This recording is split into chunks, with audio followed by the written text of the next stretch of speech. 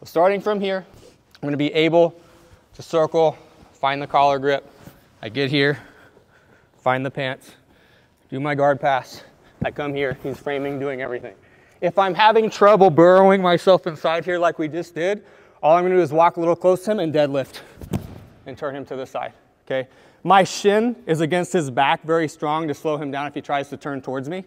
Okay, if he goes away from me, I'm gonna be attacking his back. So very bad position for him. We can pass. Collar is number one. Controlling his upper body is our best grip.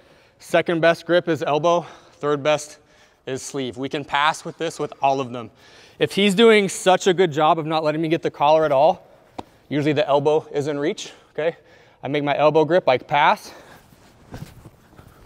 I turn him to the side. I'm playing here. It's impossible for him to play any guard in jiu-jitsu when I have a cross grip. Zero. All he can do is frame.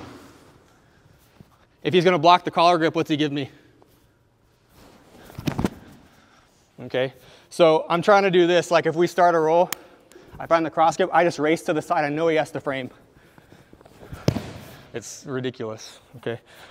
And this is one of those techniques where it's like, that's too easy to be like real, it's not. But you can find this in a lot of different places, like upper belts. We're in this like kind of headquarters position here passing. I can find the cross grip here, long step. Here, he's framing, tries to step on me. I lift. You can find it a lot like double sleeves.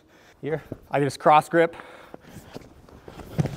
I mean, you can use it so much. So round three, you can either work the half guard pass again, or just kind of play with just finding the cross grip, okay? And again, he has to frame and can block the head control.